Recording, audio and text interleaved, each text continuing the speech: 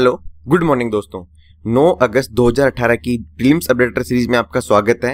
यहाँ पे हम the Hindu PIB news on या इसी का योजना, दैनिक जागरण, इनकी इंपॉर्टेंट न्यूज़ हम यहाँ पे डिस्कस करने वाले हैं। तो आज का जो हमारा पहला आर्टिकल आया है, वो है माउंटेन मॉनिटरिंग के बारे में। तो देख लेते हैं माउंटेन मॉनिटरिंग है कहाँ पे और क्या इसके बारे में कंटेक्स्ट है। तो पहले तो हम इसके देखो लोकेशन जानते हैं, फिर हम इसके बारे में कंटेक्स्ट वो डिस्कस करेंगे। सबसे अहम बात है कि माउंटेन जो मॉनिटरिंग है, इसकी लोकेशन बेसिकली आपको बताऊँ तो हिमाचल प्रदेश में है। ये one of the highest mountain है हिमाचल प्रदेश का। तो ये चीज़ हमें ध्यान है इसके बारे में, रखने के बेस की लोकेशन कहाँ पे है, कि वो फिक्स हमारे लिए यहाँ पे इम्पोर्टेंट हो जाता है। इसके साथ ही ये चीज़ ध्यान रखें कि कौन कौन से स्टेट कौन कौन से सॉरी जो डिस्ट्रिक्ट है वहाँ के, उन वाले एरिया में क्योंकि उनकी लोकेशन भी इम्पोर्टेंट है। देखो, आपको पता है कि हिमाचल प्रदेश में एक कैमोर डिस्ट्रिक्ट है इसके साथ ही कैनूर सॉरी कैनूर जिसके एप्पल काफ़ी फ़ेमस है, इसके साथ ही लाहौल डिस्ट्रिक्ट है, और इसके साथ स्पीति एक डिस्ट्रिक्ट है। इन तीनों डिस्ट्रिक्ट के एक्चुअली बॉर्डर वाला एरिया है, वहाँ पे माउंटेन मॉनिटरिंग है, वो बेसिकली स्थित है। बात करें इसकी हाइट की तो वो है छह हज़ार सौ तिरानवे मीटर या बोल सकते हो कि इक्कीस हज़ार छह सौ पच्चीस फीट बेसिकली इसकी हाइट है, वो है। तो ये हमें ध्यान रखना कि भाई है कहाँ पे, अब हमें इसके बारे में फैक्ट्स है, वो पता चल गया कि इस वाले एरिया में बेसिकली इसकी लोकेशन है, वो यहाँ पे हो जाती है। अब न्यूज़ देखते हैं। न्यूज़ या कंटेक्स्ट कुछ इस प्रकार है कि एक वुमेन अभियान मतलब एक वुमेन का एक दल है, वो इसकी जो हाईएस्ट पीक है, इस पे चढ़ाई करने के लिए भी तैयार है, वो हुआ है। मतलब इसकी एक जर्नी है, वो भी यात्रा स्टार्ट है, होने वाली है। तो ये चीज़ हमें ध्यान रखनी है कि आल वुमेन एक्सपेक्टेशन मतलब एक वुमेन है, दल है, वो अभी इसके ऊपर अपनी जर्नी है, वो अभी स्टार्ट है, वो करने वाला है। तो ये यहाँ पे कंटेक्स्ट एक इम्पोर्टेंट हो जाता है। तो ये चीज़ हमें थोड़ी ध्यान है, वो रखनी है। अब हम बात करें पहली वुमेन की जिन्होंने माउंट एवरेस्ट पे चढ़ाई है वो की थी माउंट एवरेस्ट की पीक है उसको फतेह किया था। उनका नाम था संतोष यादव। तो संतोष यादव ने एक पहली बार माउंट एवरेस्ट को फतेह है वो किया था तो ये फैक्ट्री में तो, तो थोड़ा इंपॉर्टेंट हो जाता है। इसके साथ ही हम देखो बात करें कि अभी ये न्यूज़ में क्यों आया और क्यों ही इसके ऊपर वुमेन अभियान है वो भी यहाँ पे जा रहा है। देखो बेसिकली क्या है कि वुमेन एवरेस्ट जो एक्सपेडिशन है वुमेन एवरेस्ट जो अभियान है इसकी अभी तीस साल है ऑलमोस्ट वो कंप्लीट हो गई थी और उसी मौके पर इसके बारे में काफ़ी सारी न्यूज़ है वो आ रही थी। तो तो एक तो आपको बता दूँ कि अभी क्या इसकी सिल्वर जुबली थी sorry twenty five time years complete हो गए इसके। तो उन ट्वेंटी फाइव ईयर्स कंप्लीट होने के बाद जो सिल्वर जुबली मनाई जा रही है नाइनटीन नाइनटी थ्री के अभियान की, उस मौके में अभी एक ये दल है जो इस माउंटेन की फतेह करने की कोशिश है, वो करेगा। तो ये चीज़ हमें ध्यान है, वो रखनी है। अब हम बात करते हैं कि इसको फंडेड कौन करेगा? तो फंड है, ये दिया जाएगा स्पोर्ट्स मिनिस्ट्री के द्वारा। तो ये फैक्ट भी हमें ध्यान है। को रखना है। देखो इंडियन माउंटेनियरिंग जो फाउंडेशन है, उसने एक्चुअली 1993 में पहला इंडियन नेपाली एक अभियान है, वो स्टार्ट चलाया था मतलब इंडियन और नेपाली उसके अंदर लोग थे, वो यहाँ पे शामिल थे और उन्होंने माउंट एवरेस्ट को फतेह वो किया था। तो ये फैक्ट इंपॉर्टेंट हो जाता है कि 1993 में पहला इंडो नेपाली अभियान है, वो स्टार्ट हुआ था, जो कि इंडियन माउंटेन फाउंडेशन है, उसके द्वारा स्टार्ट है, वो किया गया था। अब बात करें इसमें फंड की तो जैसा मैंने आपको बताया कि स्पोर्ट्स मिनिस्ट्री के द्वारा बेसिकली ये फंड है, वो प्रोवाइड हो किया जाता है। तो ये इसके फीचर्स थे और जो कंटेक्स था वो भी हमने यहाँ पे देख लिया नेक्स्ट जो हमारा आर्टिकल आया है, वो है Indian national trust for art and culture heritage के बारे में। तो आई के बारे में देख लेते हैं क्या है। देखो कंटेक्स्ट कुछ इस प्रकार है। कि जयपुर के अंदर राजस्थान में काफ़ी सारी बिल्डिंग्स हैं एक्चुअली काफ़ी हेरिटेज साइट हैं। तो अभी I A I N C A T S उसका प्लान ये है कि भाई जो हेरिटेज बिल्डिंग है ना, उन हेरिटेज बिल्डिंग को थोड़ा ढंग से कंजर्व वगैरह अगर किया जाए तो उनको इकोनॉमिक एसेट्स के तौर पर हम डेवलप वो कर सकते हैं।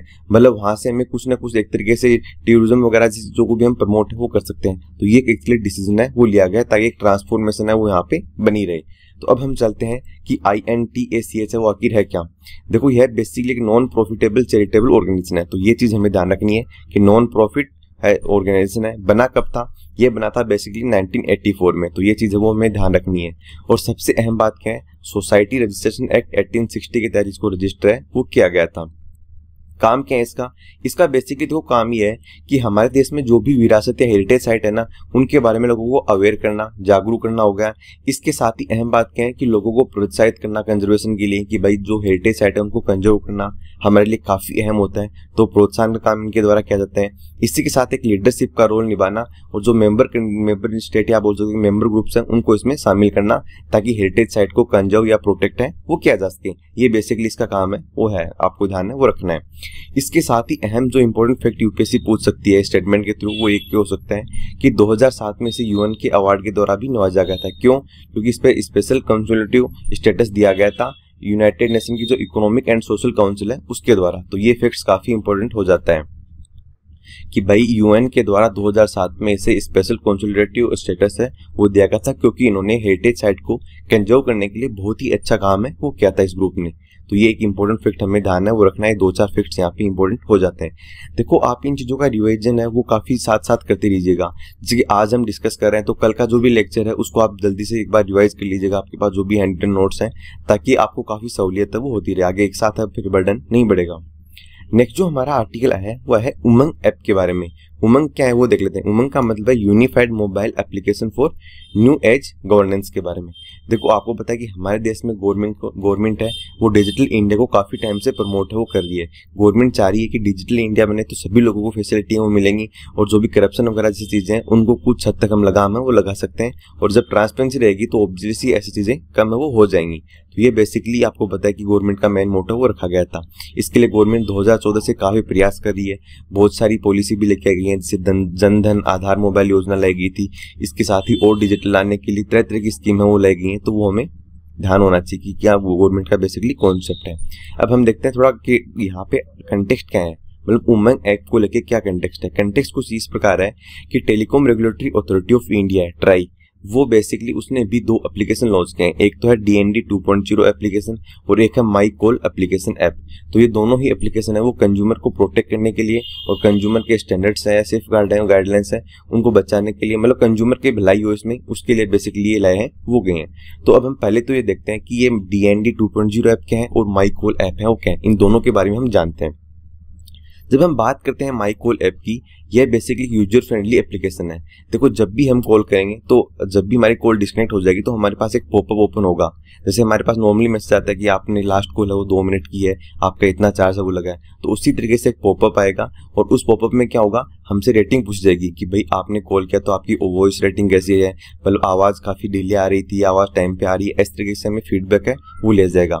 तो इससे क्या होगा कि वॉइस कॉल की क्वालिटी है, उसको मेंटेन करने में काफ़ी हेल्प वो मिलेगी। इसके साथ ही रेटिंग वो दी जाएगी। कि भाई इस कंपनी में नेटवर्क ऐसा ऐसा है तो उसके आधार पर कंपनी अपने आप की रेटिंग को इम्प्रूव करने के लिए अच्छे काम है, वो करेगी।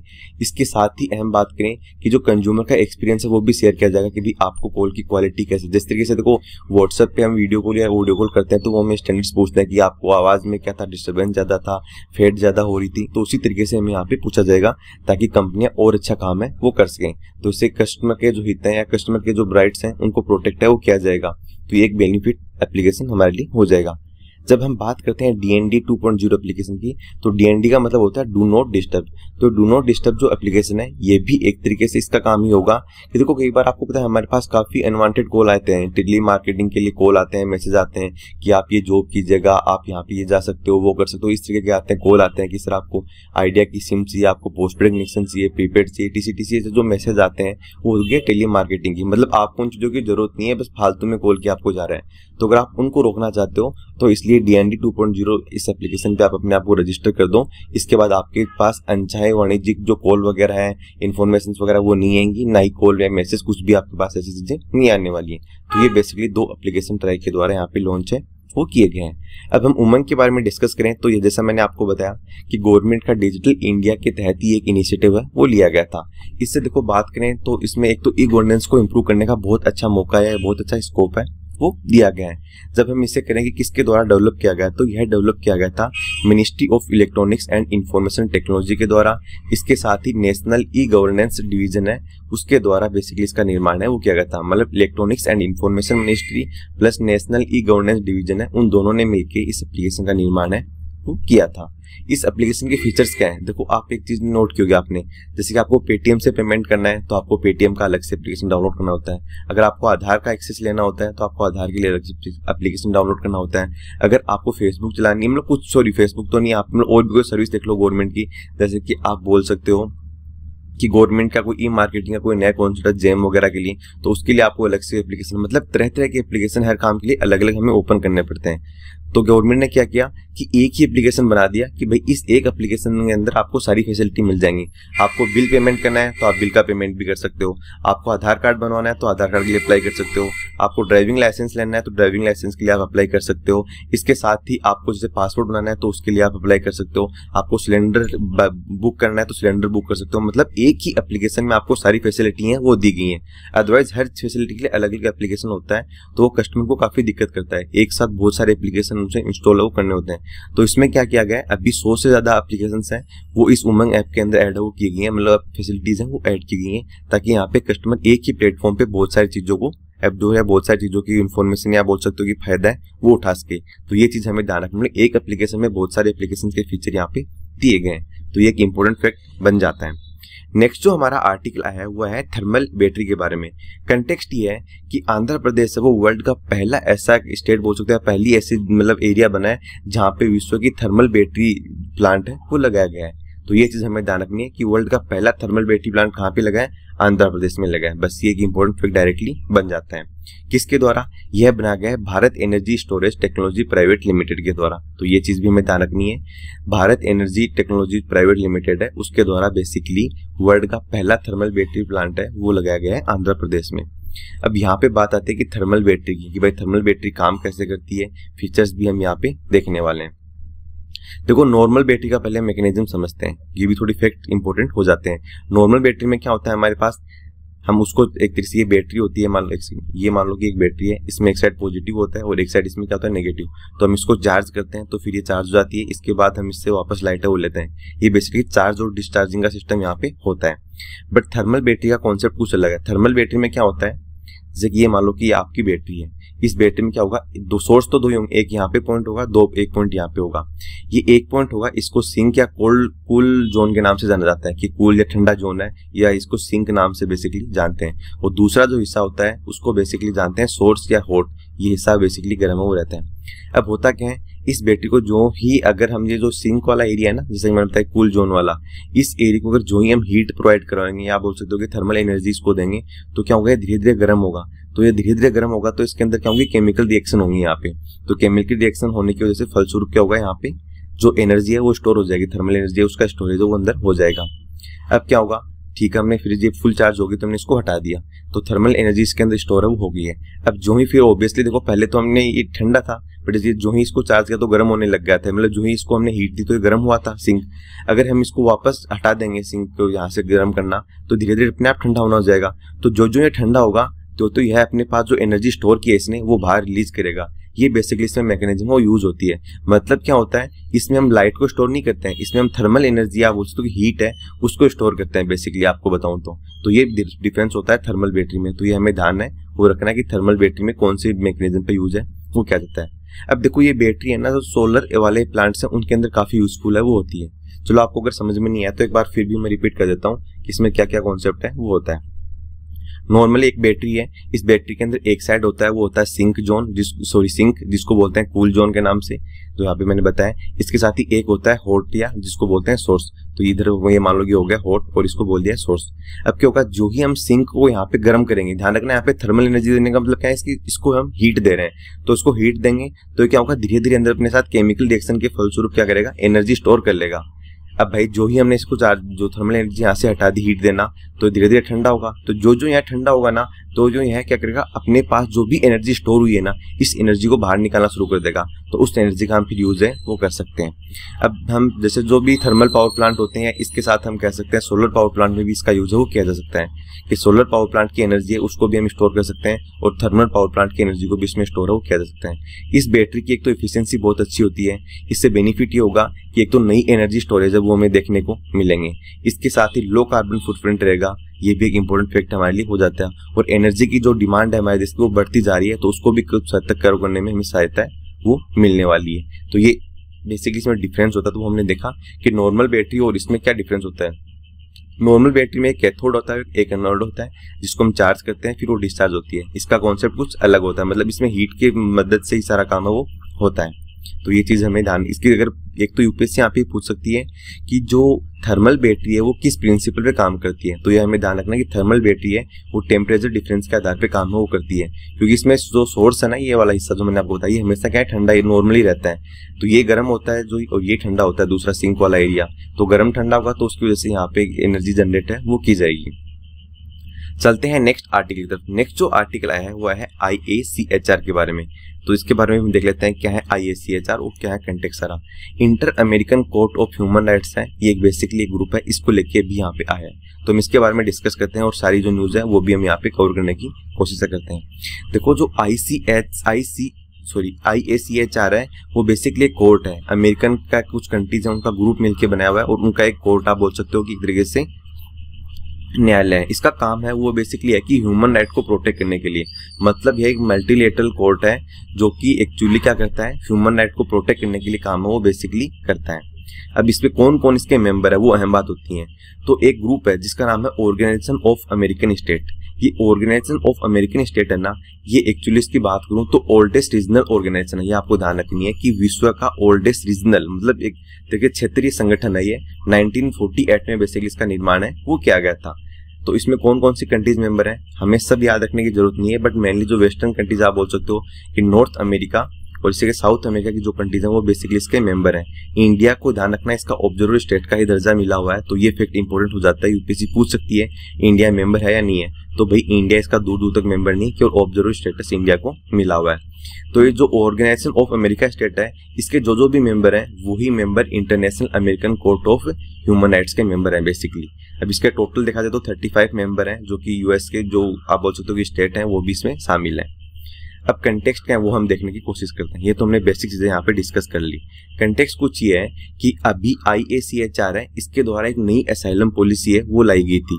असाइलम पॉलिसी क्या है, वो हम एक बार देखते हैं कि क्या नई असाइलम पॉलिसी आई है उसके क्या बेनिफिट होने वाले हैं। देखो, ये नई जो असाइलम पॉलिसी है, इसका प्रावधान ये किया गया है। जैसे कि ये मान लो, एक कंट्री यहाँ पे, एक कंट्री यहाँ पे, और एक कंट्री यहाँ पे, और एक कंट्री यहाँ पे। ये मान लो ये चार कंट्रीज़ हैं, ठीक है? अब ये यहाँ से कोई भी ये एक कंट्री है, पहली कंट्री है, दूसरी, तीसरी, चौथी, चार कंट्री है। अगर पहली कंट्री से कोई मेंबर है, इस मेंबर ने एक्चुअली मान लो कि यहाँ पे चौथी कंट्री से परमिशन ले ली कि भाई मैं आपका नागरिक बनना चाहती हूँ, आप मुझे एक तरीके से शरण है वो दीजिए मतलब आप मुझे एक तरीके से सपोर्ट है वो दीजिए, मैं आपका ही नागरिक बनना चाहता हूँ। मतलब इन्होंने असैलम मांगा इंडिया से, ये मान लो इंडिया मान लो, ये मान लो कि चौथी कंट्री से उन्होंने असैलम मांगा। इस कंट्री ने दे दिया, एक कंट्री ने कि हाँ भाई ठीक है, आपको हम असैलम के तहत अनुमति दे रहे हैं, आप आ सकते हो और आप हमारे नागरिक वगैरह बन सकते हो। ठीक है, कोई बात नहीं। तो अब इसमें क्या होगा? ये जो नई साइलम पॉलिसी है, इस आई ए सी एच आर की, इसमें प्रावधान है कि ये जो एक कंट्री से चौथी कंट्री में जो मेंबर जाएगा ना तो बीच में दो स्टेटों को इसको क्रॉस करके जाना पड़ेगा। ऐसा तो है नहीं कि गायब हो जाएगा सीधा ही। भाई, यहाँ से यहाँ आएगा तो इसलिए इस स्टेट को भी क्रॉस करके आएगा, इसको भी क्रॉस करके आएगा। तुम लोग कहीं ना कहीं क्रॉस करके तो यहाँ तक पहुंचेगा। तो इन दोनों स्टेटों की ज़िम्मेदारी क्या है कि ये इसको सपोर्ट दें या ये इसको एक्चुअली हेल्प करें कि यहाँ तक अपने डेस्टिनेशन तक पहुँचे। मतलब सीधी सी बात यह है कि जो एक कंट्री का जो भी मेंबर जो कि एसाइलम के थ्रू दूसरी कंट्री में जाना चाह रहा है तो उस बीच में अगर कोई भी मीडिएटर कंट्री आ रही है तो उसको सपोर्ट देना होगा उस एसाइलम पॉलिसी के लिए कि हाँ भाई वो उस कंट्री तक पहुँच सके सुनिश्चित ये उस दोनों स्टेट की यहाँ पे ज़िम्मेदारी हो गई है। ये दो और तीसरा स्टेट है, इसकी ज़िम्मेदारी बन गई है कि भाई वो यहाँ पे एक कंट्री के मेंबर को अनुमति दें कि वो चौथी कंट्री तक सही सलामत पहुँच जाए। जैसे कि आप ये मान लो कि अफ़गानिस्तान का कोई नागरिक है, अगर इंडिया के अंदर वो रहना चाह रहा है, इंडिया से उसने असैलम मांगा है तो पाकिस्तान उसके साथ कोई टांग नहीं अड़े पाकिस्तान चुपचाप उसे आराम से हाँ नहीं दे। ये बेसिकली हो गई यहाँ पे जो नई आई ए सी आर की जो पॉलिसी है, उसके बारे में हमने यहाँ पे डिस्कस है, वो किया है। तो अभी ये आई किसके मामले में थी, उसके साथ यहाँ पे दो तीन नाम इंपॉर्टेंट थे, उन नामों को हम यहाँ पे भी देख लेंगे। बट वो भी देखो, कुछ इतना इंपॉर्टेंट है नहीं क्योंकि वो इंटरनेशनल ऑर्डर की बात आ गई है तो वो सारी पॉलिटिक्स की चीज़ें हम यहाँ पे डिस्कस नहीं करेंगे। वो जब कभी कोई आर्टिकल में अगर वो चीज़ें आ जाएँगी तो हम उनको वहाँ पे देख लेंगे। बाकी अभी इतना फेक्ट नहीं बन रहा है। तो ये तो थी बेसिकली आज की हमारी डिस्कशन फ़िलहाल की डिस्कशन में इतना ही है। Thank you very much for discussion